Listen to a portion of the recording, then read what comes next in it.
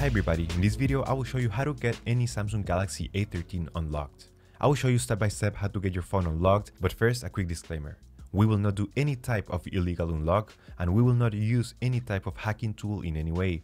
Phones that are reported as lost or stolen cannot be unlocked. In this video, we will show you ethical ways to unlock your phone. So let's begin. So the first thing that you need to understand is that there are three types of unlocks. The first type is the network unlock. This will unlock your phone to use it with any SIM card in any country from any service provider. Then you have the passcode unlock or the security unlock. This guide will show you how to access your device if maybe you forgot the passcode or the security pattern. And lastly, we have the factory reset protection lock or the Google account lock. Maybe you purchased a phone from somebody else and it came with a cloud-based lock. We will show you ethical solutions, no hacks or anything illegal. We will include timestamps, so feel free to skip this video depending on what you're looking for. So let's begin with the network unlock. Like I said before, this will make your phone compatible with any SIM card. Unlocking a phone is not a free process, but I'll show you the best and the easiest way to remotely unlock your device, meaning that everything is done over the air, no cables, and no software required. But you may be wondering why to unlock your phone. So there are a few reasons. First, it eliminates roaming costs while traveling because with an unlocked phone, you could simply purchase a local SIM card and use it for data and calls, which is way cheaper than roaming services. Additionally, the resale value of an unlocked phone increases. Having a phone that is unlocked is worth much more because you could sell it to anybody, regardless of their service provider that they use.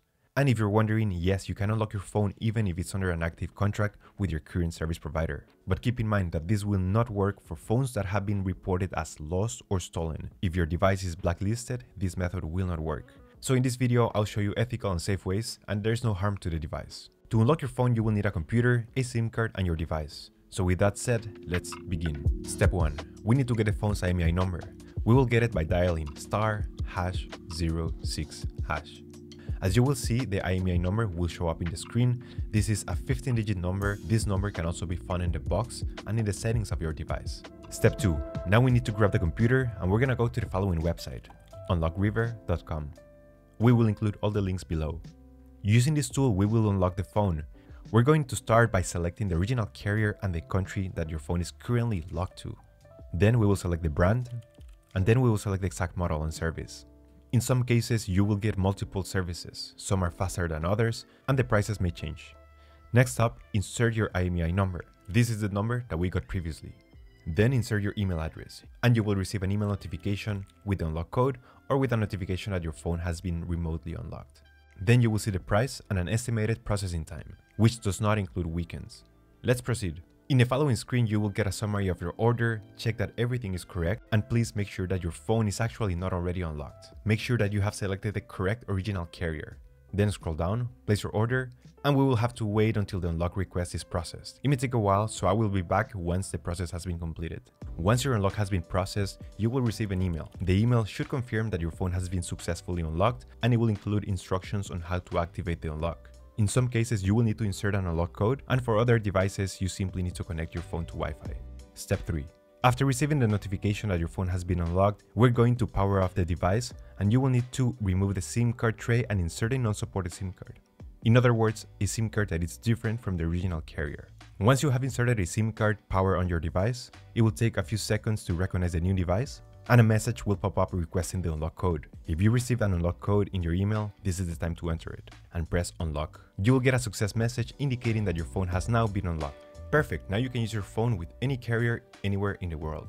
If you did not receive an unlock code in your email, but you only received the instructions and the confirmation that your phone was unlocked, what you have to do is simply restart your phone, connect it to Wi-Fi, and the unlock will be instantly activated. For some US carriers like T-Mobile, you will need to launch the Device Unlock app, which is an app that is already pre-installed in your device.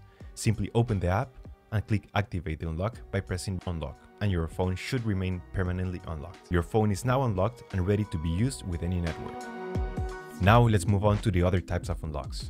Let's proceed with the passcode unlock or the security unlock. This is in case you forgot the passcode of your phone or if your phone has been locked because of too many incorrect attempts. It's important to know that the phone must be yours. If it's a stolen device or if you're not the rightful owner, you will not be able to unlock it because chances are you will be locked with a cloud-based lock. What we will do here is a factory reset to wipe the phone completely and be able to restore it to factory settings to use it again. So please be aware that all the information about this phone will be deleted unless you have a backup of your data somewhere in the cloud or in your computer. The first step is to connect your phone to your computer using a cable. Make sure that your phone has enough battery, at least 20%. And then we will enter recovery mode by performing a specific command using the following keys on the side. This may vary depending on every model, so I recommend that you Google how to enter recovery mode in your exact model. To enter recovery mode into a Samsung Galaxy usually goes like this. Press and hold the volume down key and the power key for around 15 seconds. Then press and hold the volume up key and the power key. If it didn't work on the first time, I suggest that you try it again until you get it. If you did it successfully, we will see the following screen. We will use the volume up key and down key to navigate through the menu. Scroll down to where it says Wipe Data Factory Reset, and then select the power button to enter. Warning, this will delete all the data of your phone, so you should only proceed if that's not a problem for you.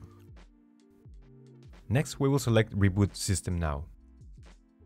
It will take a few seconds and after a while, your device will be restored to factory settings and you should be able to use it without any issues. And there you have it, your phone should be unlocked. Now in some cases, you might experience a factory reset protection lock or the Google account lock. If you have purchased a phone that is locked to a Google account, you will need to contact the previous owner to remove the lock. They can do this by logging into the Google account and removing the devices from their account settings. This would be the best and the cheapest solution. But if you have tried contacting the previous owner and you still have no lock, I will include an article in the description of this video that describes ethical solutions to completely remove the Google account lock or the FRP lock. And after that, your phone should be fully unlocked. Thank you so much for watching this video and I'll see you in the next one. Take care.